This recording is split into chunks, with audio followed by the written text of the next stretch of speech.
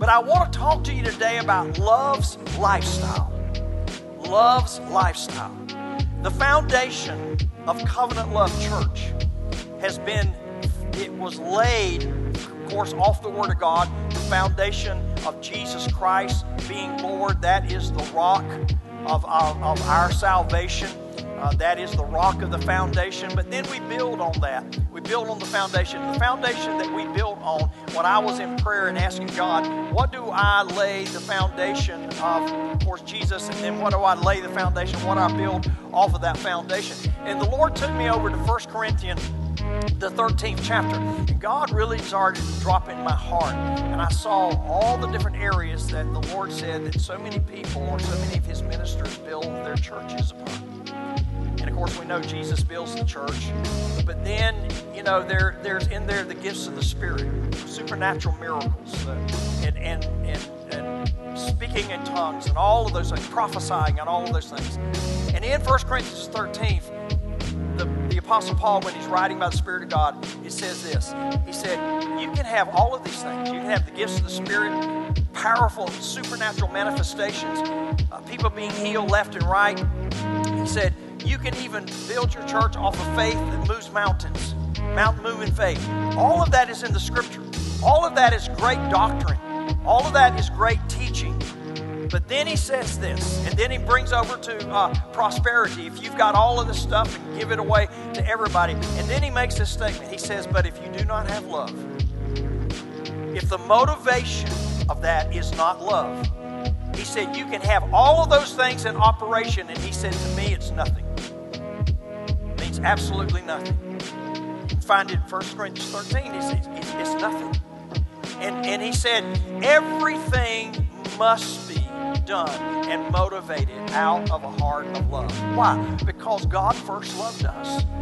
And he loved us so much that he that he allowed Jesus to go to the cross and died. And then when Jesus was hanging on the cross, most amazing statement to me in the world Jesus is hanging on the cross and he looks at all the people who just abused him, brutally whipped him. Uh, I mean, the Bible says you couldn't even recognize that he was a man. And the Bible says that he looked at them and he said, Father, forgive them, for they don't even know what they're doing. And this is a revelation that many of us must understand in the body of Christ is that you and I were born into this world with a sinful nature. And the very actions and the things that we do, we really don't understand it. Because it's the power of darkness, the sinful nature, and, and the spirit of disobedience that operates on the inside of us. And while that spirit is on the inside of us, there are so many things that we can do motivated by the course of this world, motivated by the spirit of disobedience. And if you want to know what scripture that is, and don't shout, yeah. And if you don't know what that scripture is, it is Ephesians, the second chapter, verses 1 through 3. It says it right there. So there are people still operating today just like you and I were, because everybody is born into the world with a sinful nature. Everybody, because of Adam. And so they are doing things and behind the scenes, they don't know it, but they are being orchestrated by the powers of darkness. And, and so that's the reason that the Bible tells us in Ephesians, the sixth chapter, it says you don't wrestle with flesh and blood. You don't wrestle with flesh and blood. And then it also says in, in um, 2 Corinthians, the 10th chapter, verse 3 through 5, it says this The weapons of our warfare are mighty they are not fleshly, they are not carnal, but they're mighty in the spirit for the pulling down of strongholds. So the things that we do as Christians, it is motivated out of our hearts being changed. If other hearts are not changed, they will continue to act the way the enemy wants them to act. And lots of people can be hurt. Lots of destruction and things can take place. It is the church's responsibility. Nobody else has this responsibility. It is our responsibility to preach the gospel and to tell people about Jesus. Nobody else has that responsibility. Nobody else can do that. Only we, the church, can do it. But if we get caught up in just what can God do for me. What can I get out of God? Then basically what I'm doing is I'm looking inwardly constantly. And I'm thinking about myself and I'm not thinking about other people. But see, the, the, the, the, the Bible and the gospel and the Spirit of God is totally different than that. The Spirit of God came on the inside of us not so we could just keep Him to ourselves and not just that we would look inwardly to ourselves, but the Spirit of God came on the inside of us so that we can look outside of ourselves and see what He sees. And we are the answer and the solution to it.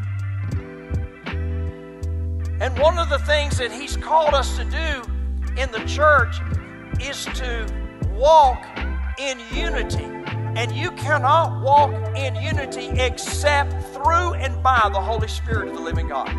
You can't legislate unity.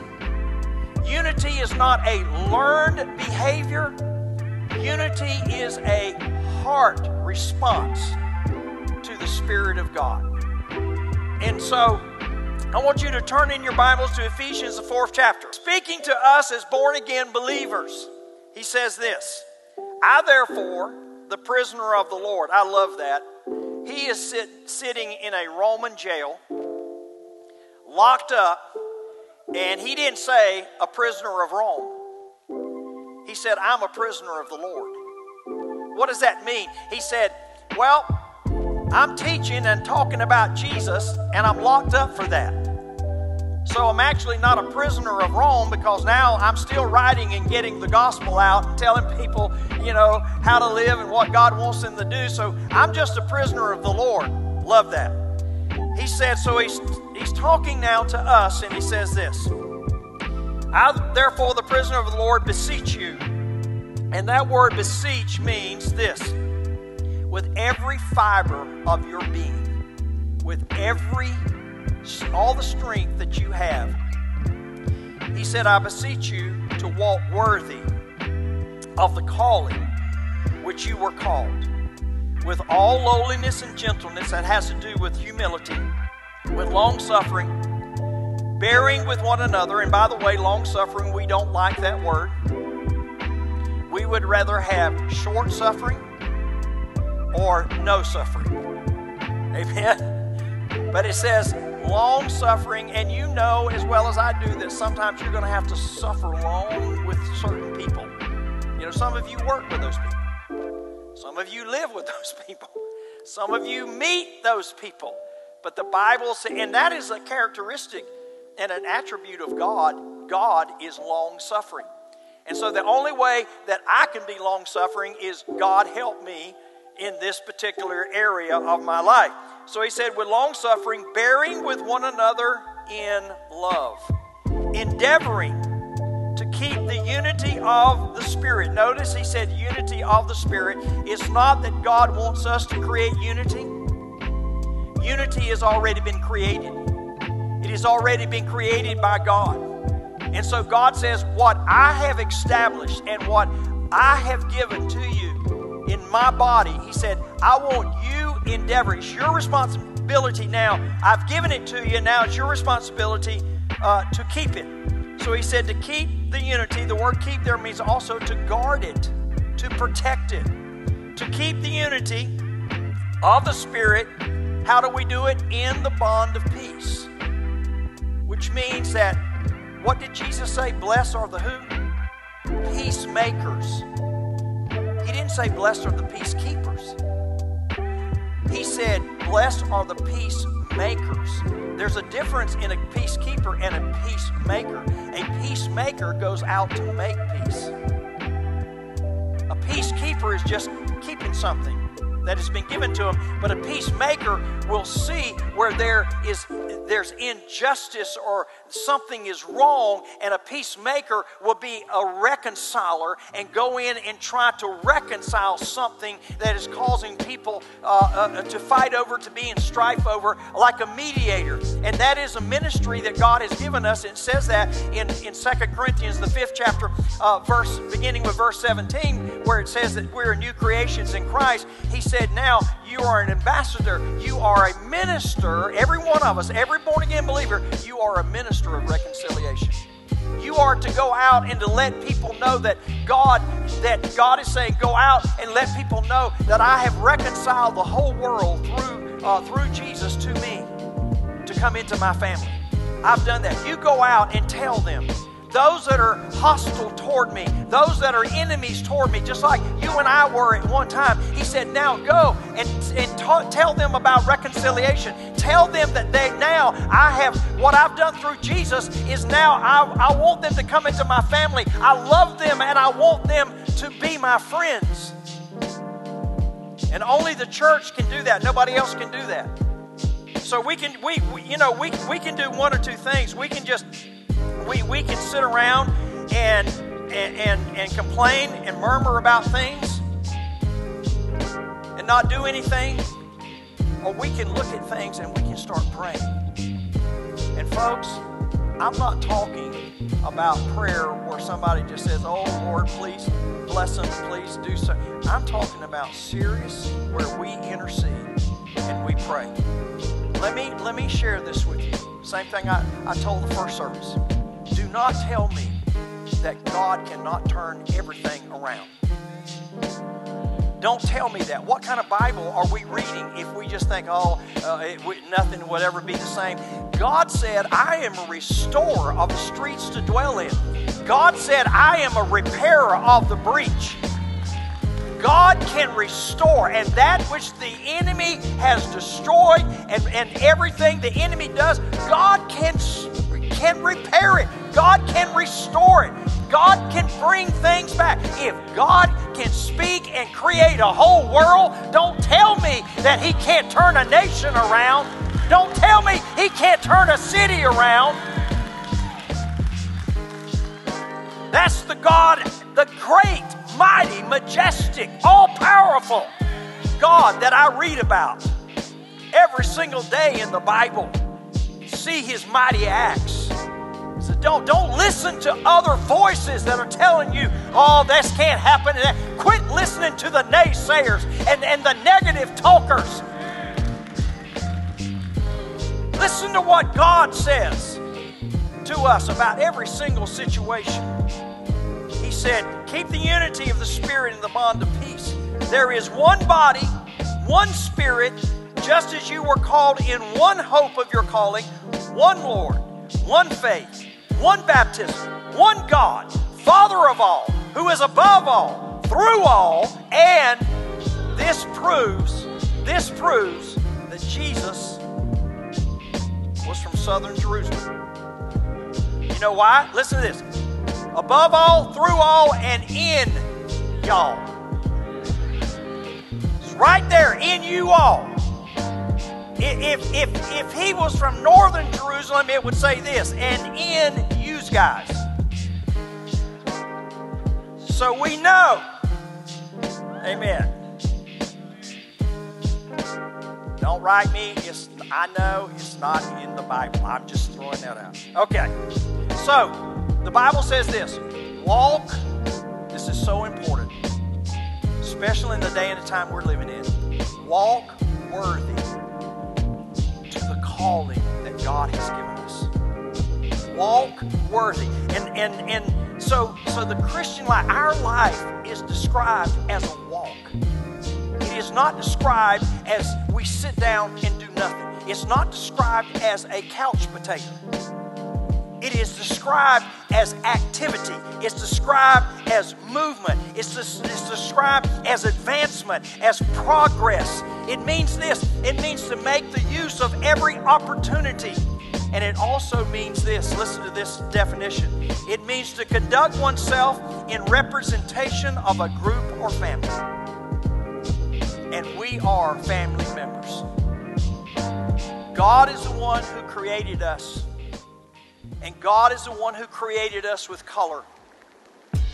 That's the reason that nobody should ever be ashamed of the color of their skin. They should embrace they should embrace the creation. This is the way God created me. Just the other day, uh, I, I, was uh, having some work done on, on my mouth, and and, and the person uh, that was doing it said this to me because they knew I was a pastor of a multiracial church. And, and they said, and, and they said, well, so, so how, uh, how are you doing during this time? And I said, I'm doing great. I'm doing, how's your church doing? They're doing great. They're just walking, everybody, we're, we're all doing what we're supposed to be doing. We're walking in love and we're praying. And, and, and, and then the statement was made to me, well, you know, love sees no color. And I said, hold on just a minute. I said, I respectfully disagree with you. And the person looked at me and they said, What do you mean you disagree with me? I said, Well, first of all, love created all colors. And I said, God is love. And God is the one who created the beauty of color in this whole world, including our skin, everything. And I said, when I look at the human race, I see beautiful color. I see color. And I see it because that's the way God created it. And God created us to embrace every single person. I said, you know, I, I said, this is, I, I said, the, the one thing that we forget about is this that every one of us bleed red. Every one of us. And the Bible says in the book of Acts, 17 chapter, that God made all nations from one blood. From one blood. And I said, and, and not and I, I said, and, and not only that, not only is it one blood, but I said, guess what? I said, inside your body, everybody has kidneys. You don't have a problem with the kidneys. You know what color the kidneys are? Well, no. I, I said, well, that's because you're a periodontist. But I said, kidneys, I said, everybody has a heart. I, said, there's a liver. There, there's gallbladders. There's, I said, in other words, what I'm explaining to you is that inside we all have the same things. I said the only thing that's different is the outside. That's it. And I said, and when we get to the place that we start seeing a difference in a human being just because of their skin, I said, then that tells me that we have been educated in a way that is not from the Bible. It is not from the Bible.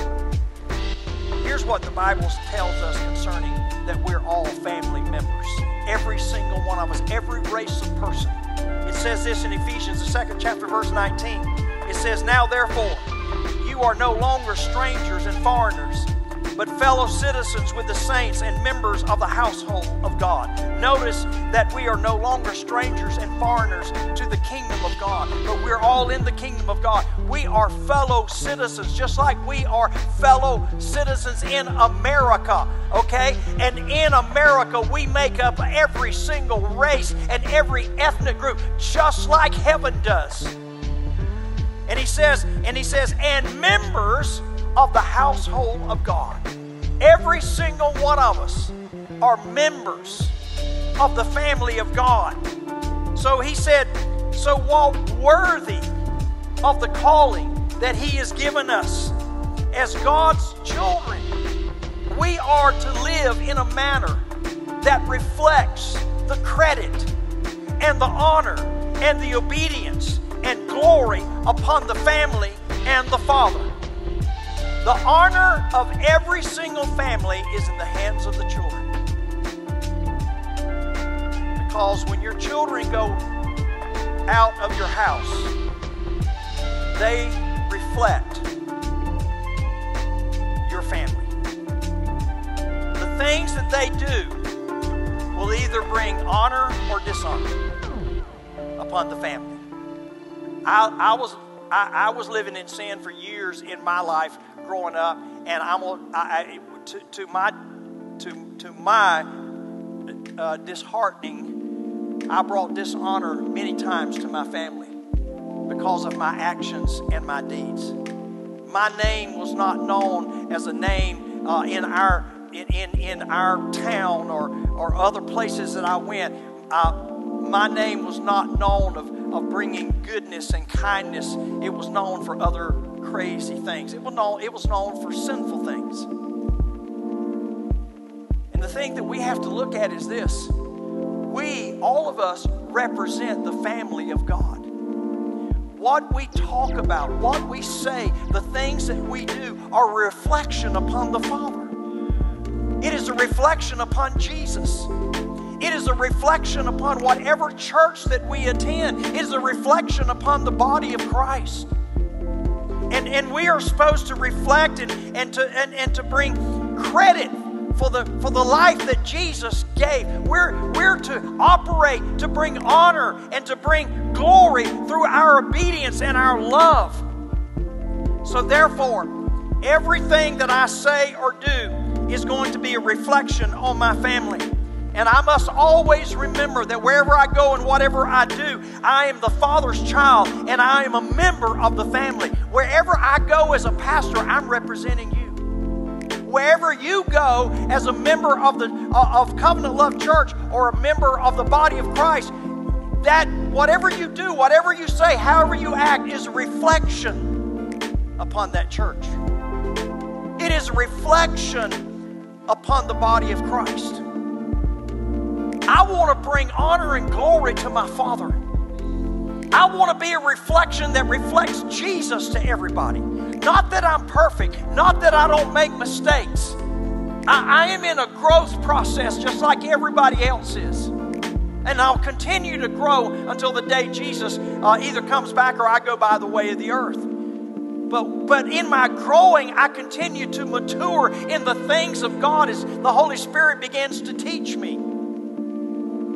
So, so, so to do that, I want to make sure that I feed myself the Word of God because that is the will of God.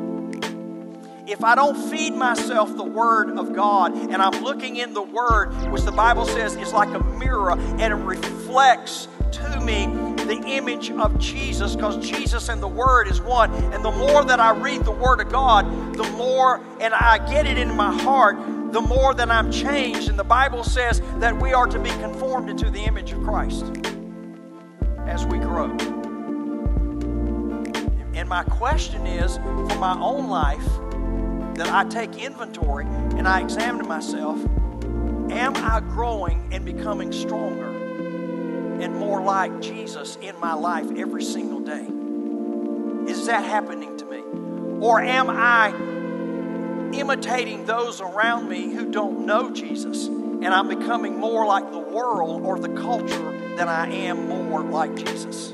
And that's the reason the Bible says that I'm to set I'm to set my affections and my passions on the things which are above, not the things that are on this earth. Because if I set my passion and my affections upon the things of this earth, then those things will actually become an idol in my life, and I will start pursuing them and worshiping them more than I do Jesus. So I must, I, I must feed. I must continue to feed myself to draw, grow strong in the Lord and the power of His might. The other day, uh, I, I, told the first service that the other day there was a, a, a poll, a survey that was done uh, across the nation to so many churches and uh, Christians. And the poll came back to this that the majority of Christians in this poll, the majority of Christians, majority of Christians read the Word of God maybe once or twice a month. And I, I started thinking about that. Let, let's just say that it was once a week. Let me ask you this question How would you do physically if you only ate once a week? How would you respond to things? Would you have the strength to do things? Would you be sharp in the mind? Much less, let's go to once a month. How would you begin to function how would you begin to operate if all you did was to feed yourself, your body, like once a month? You couldn't function. You, you could not make good decisions. You would be tired, worn out. You would be weak. So let me ask you this if that would happen to us in our physical body, what happens to us when we don't feed ourselves with the Word of God. And we wonder sometimes why we can't hold up under pressure. We wonder sometimes why we so easily give give up and we get upset and we get mad at ourselves and and and, and we, we're, we're like, I'm more in fear than I'm in faith. Well, I think it goes back to the feeding process. How much am I feeding myself? How much am I pouring the Word of God on the inside of me? And that's the reason the Bible says, don't be conformed any longer to this world. There's only one way not to be conformed to this world. You can have Jesus in your heart and love Jesus with all your, all, all your heart. But if you don't renew your mind to the Word of God, you won't see transformation. You'll see transformation when you get born again, but you won't see your habits. You won't see uh, much of your uh, the way you talk, the way you do things. You won't see much change in that. The only way that that changes is when I continue to renew my mind because my old ways can still be a stronghold on the inside of me. So I have to continue to renew, renew my mind and read the Word of God and speak the Word of God over me. Because in Ephesians, the fifth chapter, it talks about the washing of the water of the Word. All the things that I picked up when I was uh, in the world, even though I'm a new creation, all the way that I used to think and I used to act and do things the more I get the Word of God on the inside of me, the more that it becomes, uh, it, be, it becomes, it washes me. It continues to wash away the old. And, and the, the, the new is renewed. And not only that, with all of the pressures and all the things that go on in this world today and will continue to come, we have got to have a steady diet of the Word of God. We have got to build ourselves on the Word of God. And in doing that, we must also remember that we are the family of God. Folks, when we came to this city 29 years ago, our first prayer, Tave and I, with four children, our first prayer was God, give us a church that looks like heaven. You know, there's a lot of times when you pray things that you have no idea what that's going to cost you. You have no idea. It's just like we say this God, open these doors for us. God, send me here. God, wherever you want me to go, I'll go. I'll do whatever you want me to go. Do. And then he says, okay. Okay. And then he starts dropping things in your heart, and you're like, whoa, no, no, no. And, and it's amazing because when we start saying, God, I want to be used, at that time, God begins to put us in position in places that, that literally can upset us or we can even be offended because God says, if you're going to go where I need you to go, you're going to have to deal with that that's already in your heart. And I'm allowing this to come across your path to let you see what's been hidden. God will have a tendency to, to allow things to happen in our life that we will turn to Him and we will turn to His Word to be obedient to His Word. And to be obedient to His Word in everything that we do, I'm going to tell you right now, it is not easy. Because a lot of times what happens is you have to die to self to see more of Him revealed on the inside of you. And dying is not pleasurable.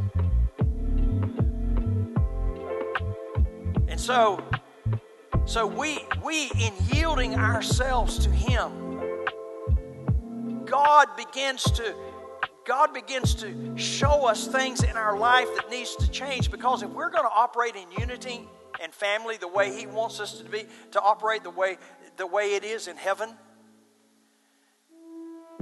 then we're going to have to examine ourselves because the Bible tells us that. Examine yourselves. Isn't it amazing that when we get ready to take communion, God says, judge yourself before you take it? Judge yourself, lest you not be judged. So if I sit there and, and, and I'm living in sin and got a whole b- bunch of unforgiveness and strife and bickering in my life, and I drink that which represents the blood of Jesus, which is the forgiveness of God, that's not good. That's the reason it says, before I even take communion, I need to judge, examine my heart, and look and see if there's anything there that is outside of love and forgiveness. And if there is, that's when I bow my head and I said, Father, I repent of what I said. I repent of what I've done. I repent I repent of my attitude. Father, I repent of that. And then freedom and then cleansing takes place.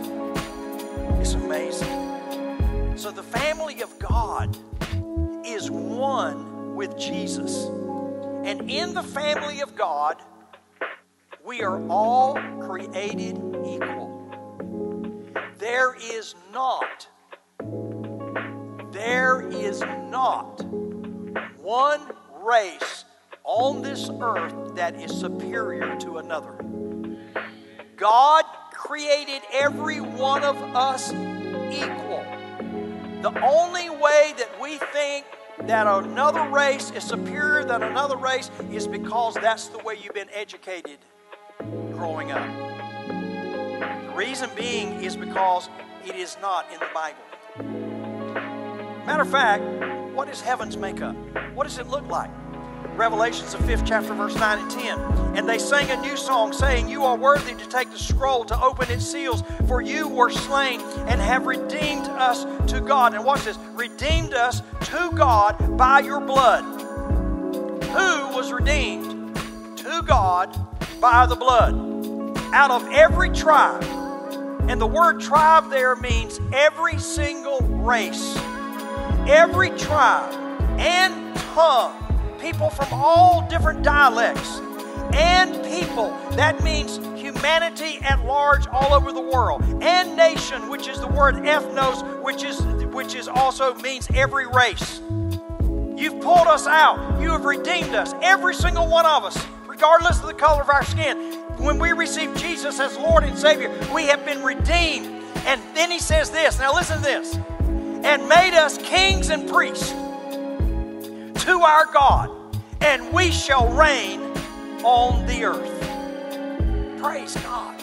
Okay, that's what heaven looks like. What does the earth, what do we supposed to look like right here? Same thing. Listen to this. Galatians, the third chapter, verse 26 and 29. For you are all sons of God. If you are born again, you are a son and daughter of the living God. You are sons of God through faith in Christ Jesus. For as many of you were baptized into Christ, you have now put on Christ. There is neither Jew nor Greek. There is neither slave nor free. There is neither male or female. For you are all one in Christ Jesus. In Christ Jesus. One together. And then listen to this. And if you are Christ, then you are Abraham's seed and heirs according to the promise. And we're heirs and joint heirs with Jesus Christ. Listen to what Galatians, the fourth chapter, verse 6 and 7 says. Because you are sons, God has sent forth the Spirit of His Son into your hearts, crying out, one cry, Abba, Father. He is the Father of us all. God is the one who has created us. And He has created us precious and beautiful in His sight. And He has created all colors, every race. He has created that. Therefore, you are no longer a slave, but a son. And if a son, then an heir of God through Christ. So let me ask you this. So, what are the main characteristics of this walk when it says walk worthy as the family of God. Let's look at Ephesians, the fifth chapter, verses 1 through 6. It says this Therefore, become imitators of God, copy Him and follow His example. As well beloved children imitate their Father.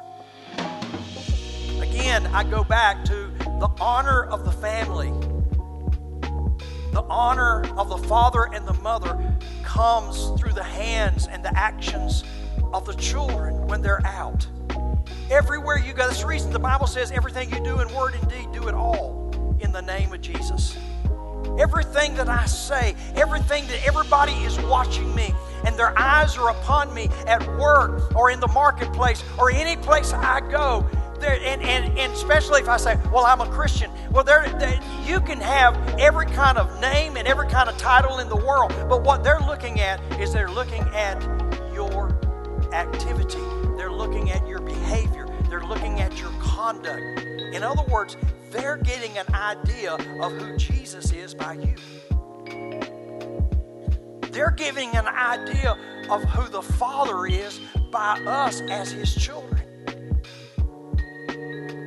And say, Pastor, that's, that's a pretty tough statement. Be imitators of God? Well, it would be tough if God said, didn't say this, and I'm going to jump way ahead. Philippians, the second chapter, verses 12 through 15. It says, Therefore, my beloved, as you have always obeyed, not only in my presence only, but now much more in my absence, work out your own salvation.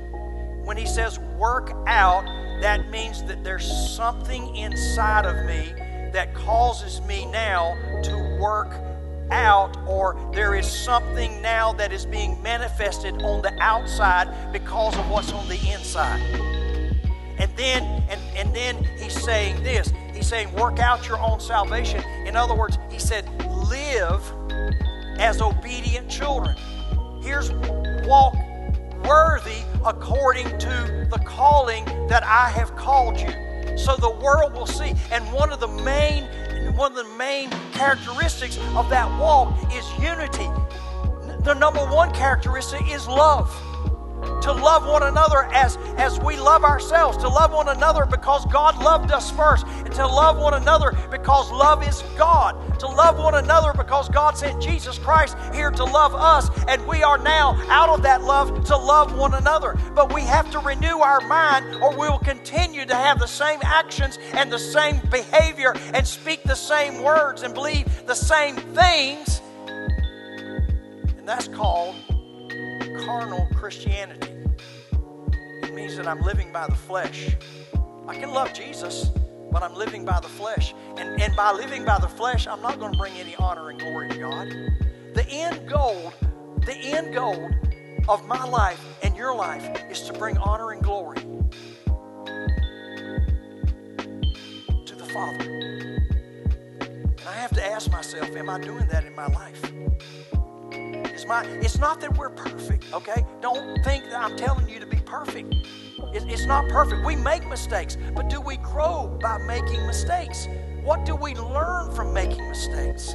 What do we learn when I say something that comes out of my mouth that's hurtful to somebody else? Am I learning from that? And and do I have such a relationship with Jesus and such a relationship with the Holy Spirit that the Holy Spirit can convict me when I do something that's out of the will of God. Because if I can continue to hurt people, speak hurtful words, say things that are not out of love, and there's no conviction in my heart, something's wrong with my Christianity. Something's wrong with it. And that's where I've got to say, God, Lord, Holy Spirit, if I do anything that's not pleasing to my Father, Holy Spirit, convict me. Holy Spirit, show it to me. Let me come. And then I've got to be able to respond. It doesn't mean that I'll always respond immediately. Because the Bible says, be angry and sin not. Every one of us is going to deal with anger. Every one of us is going to deal with being upset. Every one of us is going to be, deal with disappointments. Every one of us is going to deal with offense and things of that nature. But here's the key the key is I know that what is happening right now is not from God, it is from the enemy, but how I handle it must be from God.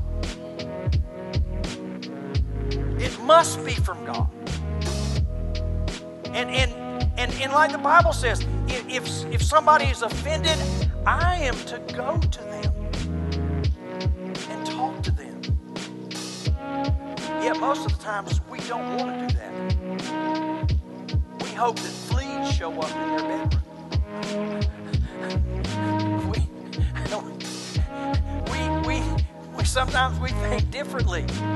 But a lot of times, and, and by the way, when, when, when I do, when, when something does happen the reason that God wants me to go to them, and a lot of times I've got to get my attitude right, I've got to get my heart right, but then God wants me to go to them because in that, God can bring freedom and liberty not only to me, but to the other person.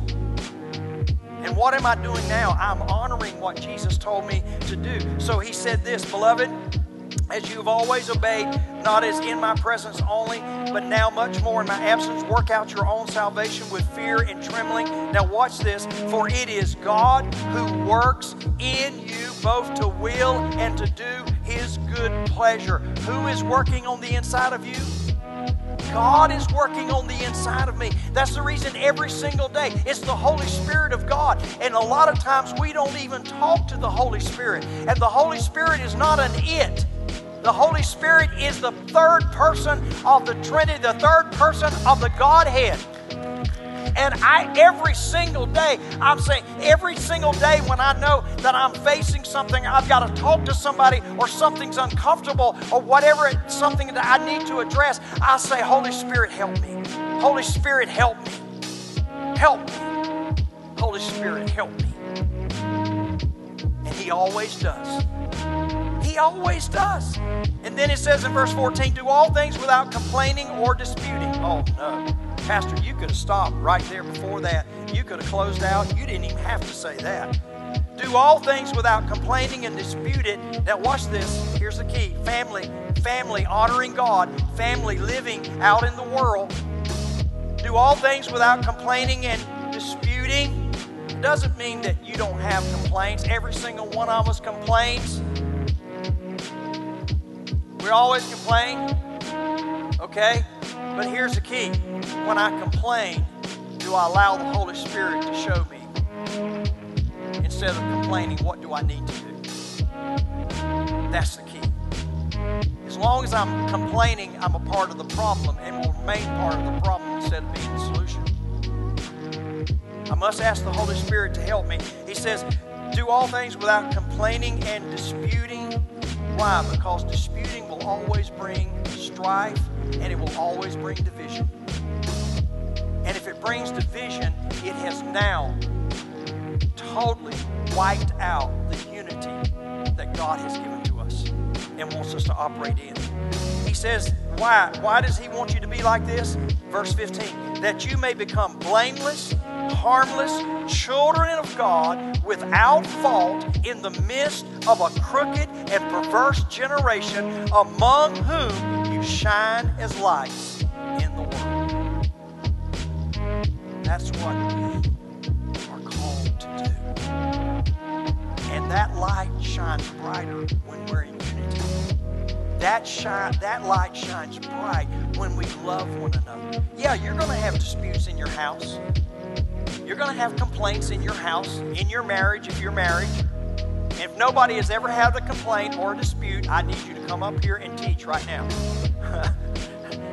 because we only want the perfect ones to preach.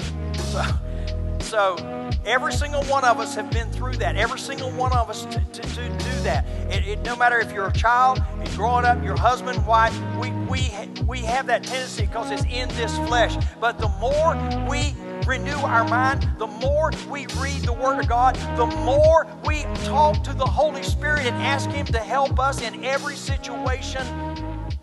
Wow. You know what's going to manifest?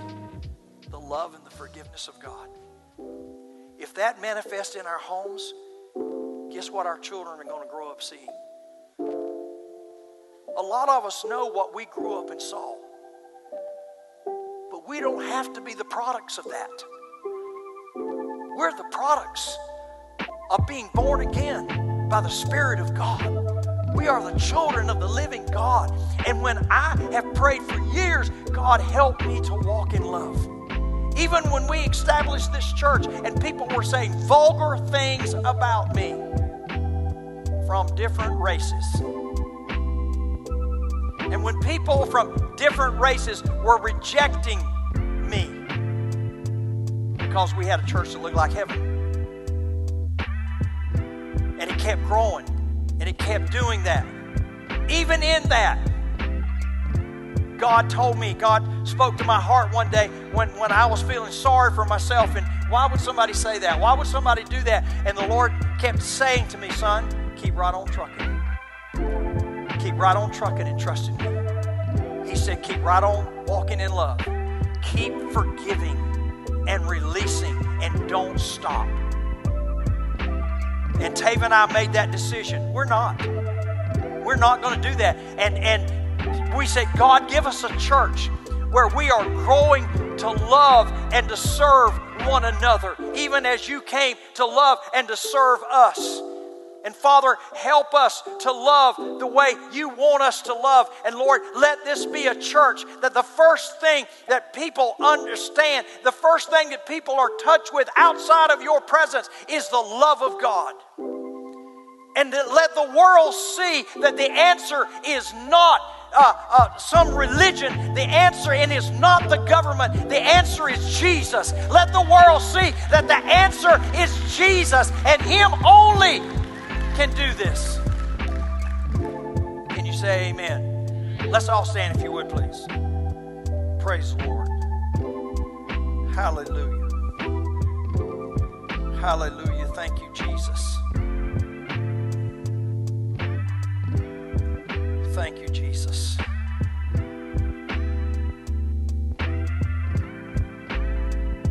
Therefore, become imitators of God, copy Him, and follow His example as well beloved children.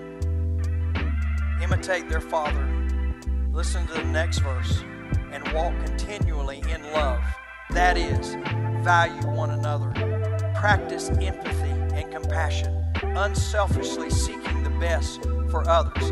Just as Christ also loved you and gave himself for us, an offering and sacrifice to God, slain for you so that it became a sweet fragrance.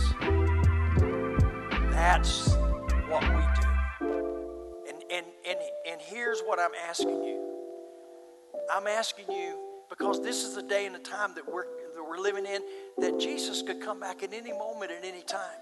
And I don't want him to come back and me be ashamed of my life. I do not want him to come back and then I have to stand face to face with him. And he talks to me about so many things that he had already told me in my heart that I should have repented of, that I should have gotten right, that while I was here. I don't want that. When I stand before him, I want to hear these words Well done, good and faithful servant. That's what I want. So when I operate in love, it makes look like that you're losing ground. When you operate in love, you can never lose. Yeah, people can take advantage of you and say things about you and do things to you, but if you operate in love, you can't lose. Because the Bible is true. Love never fails. And there's many times I've told God, God, I choose to operate in love regardless of what I'm hearing, regardless of what's happening, and regardless of what somebody's saying about me or whatever, I choose to, to pray for my enemies.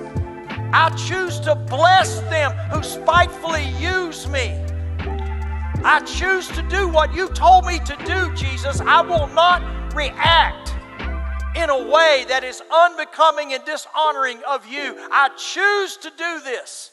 I will not return evil for evil. I choose to do this. I can't tell you how many times that I've had to pray that and, and use it and, and, and speak it. And the more I do it, the more I die to this flesh. And the and the and the aroma and the presence of God begins. And I cannot tell you how many times that God has turned situations around for me that I in the natural saw there's no way this can turn around, but I choose love. I choose to do this. It doesn't mean that you're, you're a doormat, but it means that you pray for people. You not only pray for yourself, but you pray for people. How about this? Father, I know exactly why they're acting like that.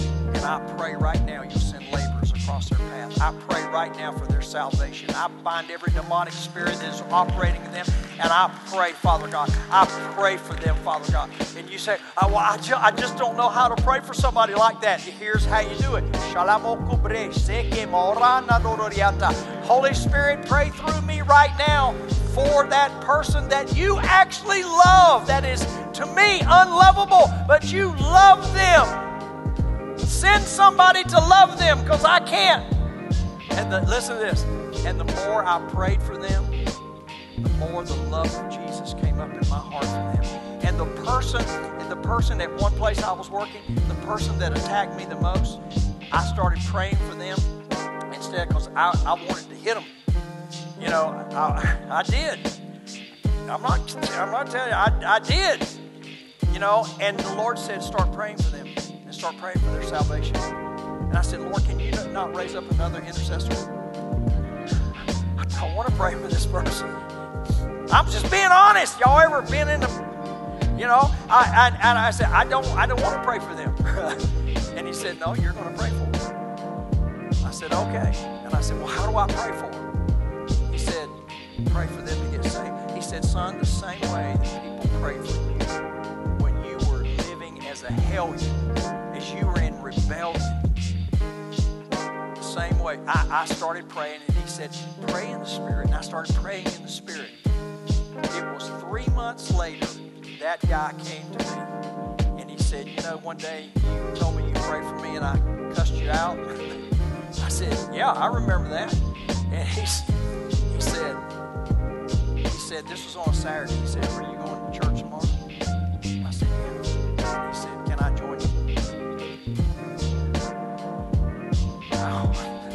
I mean, I was like, Well, yeah, yeah I was stuttering. Yeah, yeah, you can, you can join me. And he said, Well, how do I get there? And I told him, and, and, and he showed up, and he got saved. He got saved. I got back in my car that day. I actually went out to lunch with him. I got back in my car that day as we were driving to lunch, and I started weeping like a baby. And I said, God, forgive me. My heart. Forgive me. Help me. Help me to see what you see in people that sometimes I don't. You know? And that's the way we are. Come on, quit looking outwardly, even though we see outwardly. There's nothing wrong with outwardly. Embrace your color. Because God created you like that. Don't try to be like me. Be who God created you to be. Embrace it. It's what God called you. And, and then and then we stand and we pray for the for those that misuse or mistreat or however they speak or whatever they do. We pray. I will tell you right now, your God, your God will not allow you to continue to be treated in such a manner, in such a way. If you just pray and then let's pray for others and pray for ourselves. Say amen?